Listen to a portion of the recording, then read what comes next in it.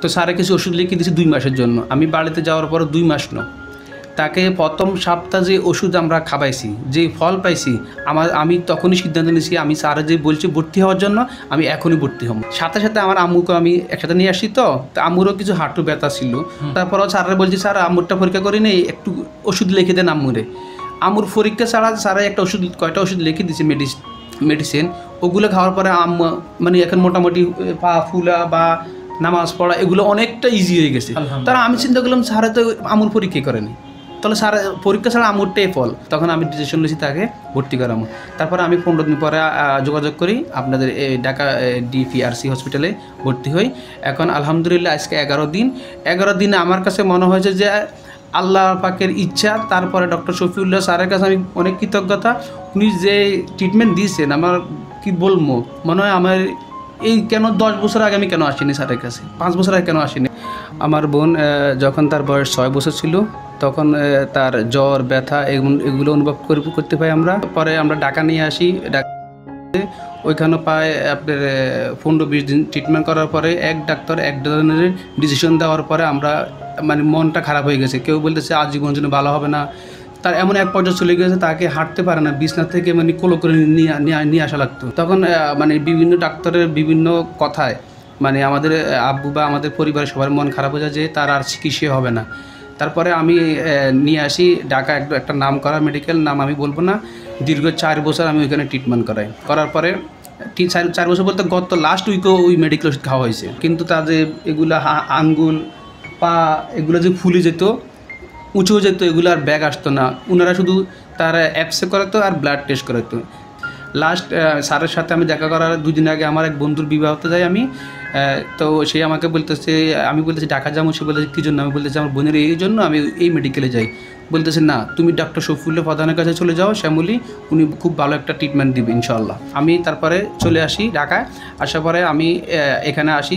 আপনাদের যারা আছে প্রথমে নিচে দারোয়ান ওর ব্যবহারটা দেখে আমার খুব ভালো লাগছে এবং সবাই যতগুলো লোক আছে অত্যন্ত মানে মানে আমাদের আমাদের আন্তরিকভাবে আমাদের সবাই রিসিভ করছে। তো পরে স্যারের সাথে দেখা করলাম স্যারে সবগুলো দেখি। প্রথমে যে স্যারে একটা কথা বলছে আমাকে আমরা বললাম যে স্যার আমার বোনের পনেরো বছর অবস্থা। স্যার বলছে পনেরো বছরের রুগী পনেরো দিন ভালো হয়ে যাবে। ইনশাআল্লাহ। আমার মনে হয় পনেরো দিন টাইম লাগবে না ইনশাআল্লাহ যদি স্যারের কাছে যদি কেউ আসেন। তো আমরা বলছি স্যার তাহলে আমরা যদি প্রিপারেশন নিয়ে আসি নাই তো আপনি সাধারণভাবে আমাকে কিছু ওষুধ লিখে দেন আমরা প্রিপারেশনটা নিয়ে আসি। যেহেতু ঢাকা আসতে আমাদের একটু হিসেব নিকেশ আছে।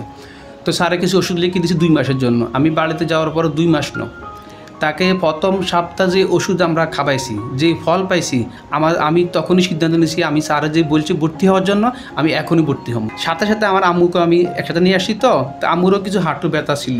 তারপরও স্যাররা বলছি স্যার আম্মুরটা পরীক্ষা করি নেই একটু ওষুধ লিখে দেন আম্মুরে। আম্মুর পরীক্ষা ছাড়া স্যারা একটা ওষুধ কয়টা ওষুধ লিখে দিয়েছে মেডিসিন মেডিসিন। ওগুলো খাওয়ার পরে আম মানে এখন মোটামুটি পা ফুলা বা নামাজ পড়া এগুলো অনেকটা ইজি হয়ে গেছে। তারা আমি চিন্তা করলাম স্যারে তো আমুর পরীক্ষা করেনি। তাহলে স্যার, পরীক্ষা ছাড়া আমুরটাই ফল। তখন আমি ডিসিশন নিয়েছি তাকে ভর্তি করামো তারপর আমি পনেরো দিন পরে যোগাযোগ করি আপনাদের এই ঢাকা ডিপিআরসি হসপিটালে ভর্তি হই। এখন আলহামদুলিল্লাহ আজকে এগারো দিন। এগারো দিনে আমার কাছে মনে হয়েছে যে আল্লাহ পাকের ইচ্ছা, তারপরে ডক্টর শফিউল্লাহ স্যারের কাছে আমি অনেক কৃতজ্ঞতা। উনি যে ট্রিটমেন্ট দিয়েছেন, আমার কি বলব? মনে হয় আমার এই কেন দশ বছর আগে আমি কেন আসিনি স্যারের কাছে? পাঁচ বছর আগে কেন আসিনি?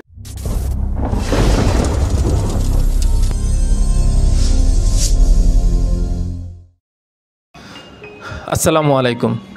দর্শক, আশা করি আপনারা সবাই ভালো আছেন এবং সুস্থ আছেন। স্বাগতম আপনাদেরকে আবারও আমাদের নতুন একটি এপিসোডে নতুন একজন অতিথির সাথে এবং নতুন একটি সমস্যা নিয়ে এবং নতুন একটি কষ্টের গল্প নিয়ে। দীর্ঘ একটি যাত্রা এবং দীর্ঘ একটা সময় পরে, দীর্ঘ প্রচেষ্টার পরে জয়ী হওয়ার গল্প আপনাদের সামনে নিয়ে এসে হাজির হয়েছি। আসুন দর্শক সরাসরি আমরা পেশেন্টের সাথে কথা বলি এবং ওনার কাছ থেকে আমরা পুরো বিষয়টা একটু জানার চেষ্টা করি। আসসালামু আলাইকুম। আপনার নামটা একটু বলেন। রুনু আক্তার। রুনা আক্তার আপনার দেশের বাড়ি কোথায় বা কোথায় থাকেন আপনি? রামগঞ্জ লক্ষ্মীপুর। এটা নোয়াখালী জেলা?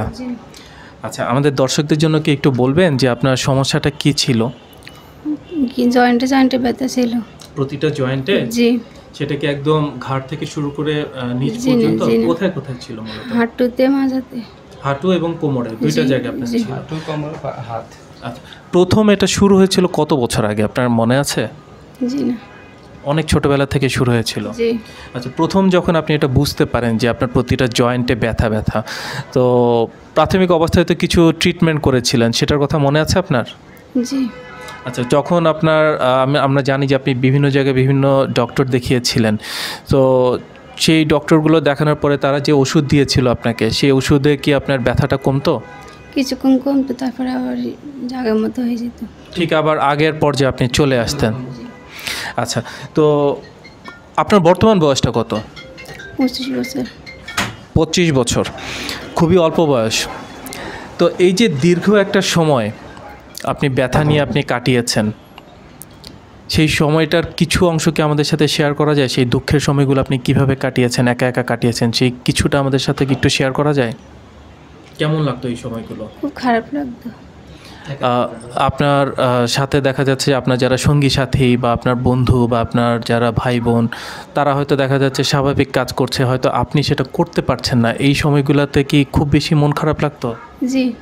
কখনো ইচ্ছে করতো না তাদের মতো একসাথে ছুটে বেড়াতে একসাথে কাজ করতে তাদের মতো স্বাভাবিক একটা জীবনে আসার জন্য। জি। আমরা জানি যে আপনি পরবর্তীতে ডক্টর মোহাম্মদ শফিউল্লাহ প্রধান ওনার আন্ডারে থেকে আপনি ট্রিটমেন্ট করেছেন। সো এই ট্রিটমেন্ট করার পরবর্তী অবস্থা এখন আপনার শারীরিক অবস্থাটা কেমন? আগের থেকে ভালো। আপনি কি হাঁটাচলা করতে পারছেন স্বাভাবিকভাবে? জি। সেই কোমর ব্যথা এবং হাঁটু ব্যথার কী অবস্থা এখন? এখন ব্যথা নাই। আলহামদুলিল্লাহ। দর্শক মণ্ডলী আমরা এখানে ওনার ভাইকে একটু পেয়েছি। আমরা একটু ওনার কাছ থেকে পুরো বিষয়টা একদম প্রথম থেকে শেষ পর্যন্ত একটু জানব। আসুন ওনার সাথে একটু পরিচিত হই কথা বলি। আসসালামু আলাইকুম। ওয়ালাইকুম আসসালাম রহমতুল্লাহ। স্যার আপনার নামটা একটু বলেন। আমার নাম মিজানুর রহমান আমি প্রবাসী। একজন প্রবাসী। আচ্ছা কোন দেশে আছেন? আমি সৌদি আরবে আছি। সৌদি আরবে। স্যার আপনার বোন রুনা আক্তার জি। মাত্র পঁচিশ বছর বয়স।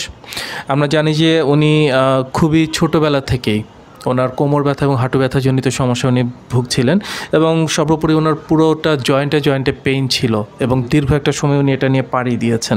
আমাদেরকে যদি একটু প্রথম থেকে বলেন যে কি হয়েছিল প্রথম। আসসালামু আলাইকুম। আমার বোন যখন তার বয়স ছয় বছর ছিল তখন তার জ্বর ব্যথা এগুলো- এগুলো অনুভব কর- করতে পাই আমরা। তখন আমরা আমাদের মানে হোম সিটিতে একজন ডাক্তার দেখাই বিশেষজ্ঞ ডাক্তারকে। উনি তাকে প্রাথমিকভাবে বলছে যে ওর টিবি রোগ হয়েছে। তা আমরা টিবি রোগের প্রাথমিকভাবে দুই বছর চিকিৎসা হওয়ার পরে ও সুস্থ হয়ে যায়। সুস্থ হয়ে যাওয়ার পর পাঁচ ছ বছর পরে আবার তার কী হয়ে যায়? জ্বর বিভিন্ন জায়গায় ব্যথা ফুলে যেত। এগুলো হয়ে যাওয়ার পরে আমরা ওনার কাছে আবার নেওয়ার পরে বলতেছি ওনার অন্য ডাক্তার দেখানোর জন্য। আমরা তারপরে বিভিন্ন ডাক্তার এবং কবিরাজ মানে অনেকে বলতেছে, এক গ্রামের মধ্যে একজনে একরকম বলতো, নিয়ে যাওয়া হয়েছে। এভাবে লং প্রায় আপনার পাঁচ ছ বছরে আমাদের হোম ডিস্ট্রিক্টে চিকিৎসা করাই চিকিৎসা করার পরে পরে আমরা ডাকা নিয়ে আসি। ওইখানে প্রায় আপনার পনেরো, বিশ দিন ট্রিটমেন্ট করার পরে এক ডাক্তার, এক ধরনের ডিসিশন দেওয়ার পরে আমরা মানে মনটা খারাপ হয়ে গেছে। কেউ বলতেছে আজীবন জন্য ভালো হবে না। তার এমন এক পর্যায়ে চলে গেছে তাকে হাঁটতে পারে না বিছনা থেকে মানে কোলো করে নিয়ে নিয়ে আসা লাগতো। এমন সম্পূর্ণ বিছানায় শয্যাশায়ী হয়ে গেছে। হাঁটতে পারতো না। তখন মানে বিভিন্ন ডাক্তারের বিভিন্ন কথায় মানে আমাদের আব্বু বা আমাদের পরিবারের সবার মন খারাপ হয়ে যায় যে তার আর চিকিৎসা হবে না। তারপরে আমি নিয়ে আসি ঢাকা একটা একটা নাম করা মেডিকেল নাম আমি বলব না। দীর্ঘ চার বছর আমি ওইখানে ট্রিটমেন্ট করাই। করার পরে তিন চার চার বছর বলতে গত লাস্ট উইকও ওই মেডিকেল ওষুধ খাওয়া হয়েছে। পরে আমার মানে হয়তো কি সাময়িকভাবে তার ব্যথা ভালো হয়, কিন্তু তার যে এগুলো আঙ্গুল, পা, এগুলো যে ফুলে যেত উঁচু যেত, এগুলো আর ব্যাগ আসতো না। ওনারা শুধু তার অ্যাপসে করাতো আর ব্লাড টেস্ট করাতো। আসলে ছ মাস ওষুধ দিতে বলতে ছ মাস পরে আবার সাক্ষাৎ করান। আসলে আবার ঘুরে গেড়ে ওষুধ এগুলো দেয়, স্বাভাবিকভাবে ব্যথা ভালো থাকে, কিন্তু তার স্বাভাবিকভাবে হাঁটতে পারে না। তার মানে টয়লেটে বা খাওয়া বা গোসল এগুলো মানে সেই কখনো করতে পারে না। লাস্ট স্যারের সাথে আমি দেখা করার দুদিন আগে আমার এক বন্ধুর বিবাহতে যাই আমি তো সে আমাকে বলতেছে, আমি বলতেছি, ঢাকা যাব? সে বলতেছে, কী জন্য? আমি বলতেছি, আমার বোনের এই জন্য আমি এই মেডিকেলে যাই।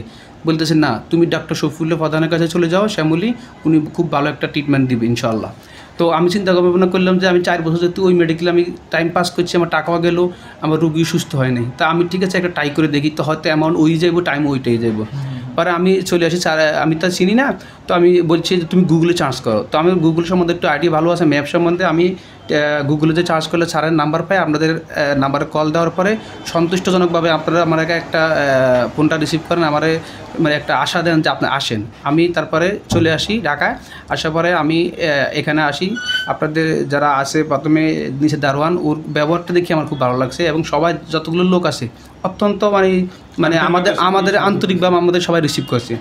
তো পরে স্যারের সাথে দেখা করলাম স্যারে সবগুলো দেখি। প্রথমে যে স্যারে একটা কথা বলছে আমাকে আমরা বললাম যে স্যার আমার বোনের পনেরো বছর অবস্থা। স্যার বলছে পনেরো বছরের রুগী পনেরো দিন ভালো হয়ে যাবে। ইনশাআল্লাহ। আমার মনে হয় পনেরো দিন টাইম লাগবে না ইনশাআল্লাহ যদি স্যারের কাছে যদি কেউ আসেন বা আমাদেরও। পরে এখন স্যারে কিছু পরীক্ষা দিল এগুলো দেখল। পরীক্ষা দেওয়ার পরে আমরা এগুলো পরীক্ষা স্যারে দেখল দেখার পরে স্যারে বলছে এখানে ভর্তি হওয়া লাগবে।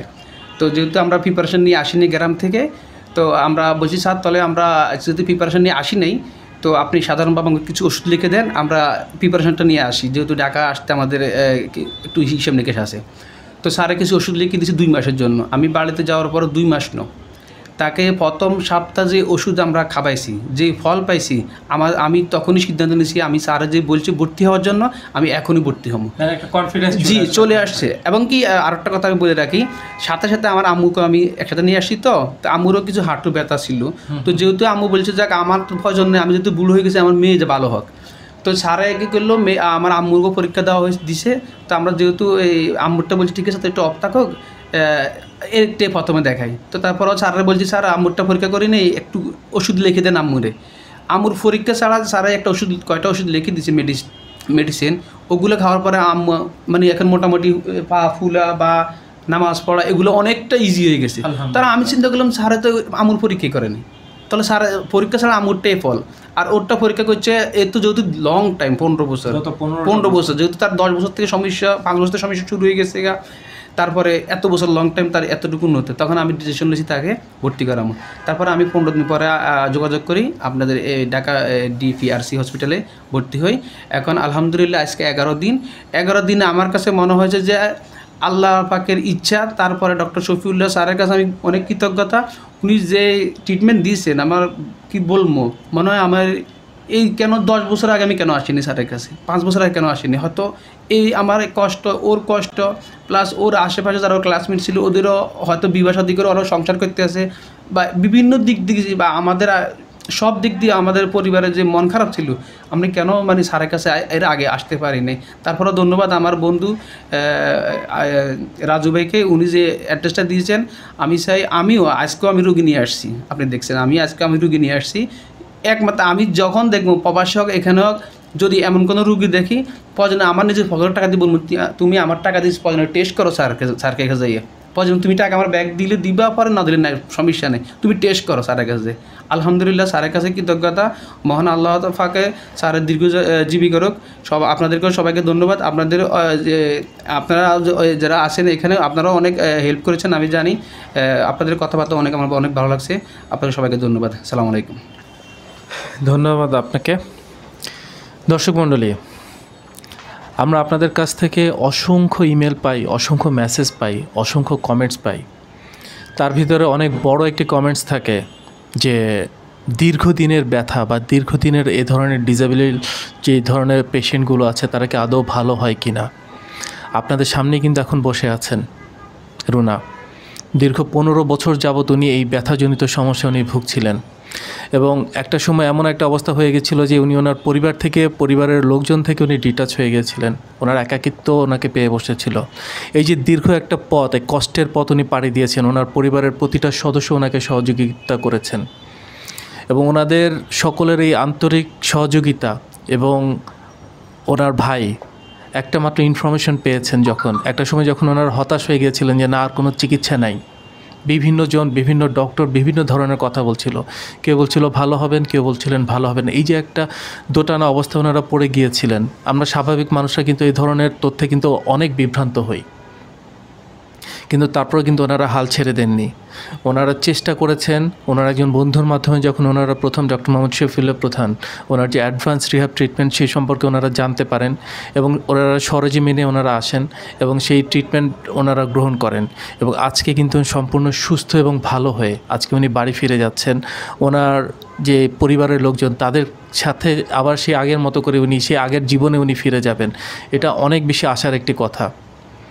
আশা করি আপনারা এ থেকে অনেক ভালো কিছু আপনারা জানতে পারলেন, শিখতে পারলেন এবং এ থেকে ভালো একটি শিক্ষা আপনারা গ্রহণ করেছেন। ধন্যবাদ আপনাদের সকলকে আমাদের সঙ্গে থাকার জন্য। আপনাদেরকে অসংখ্য ধন্যবাদ। আসসালামু আলাইকুম। আপনাদেরকে অনেক ধন্যবাদ। আসসালামু আলাইকুম।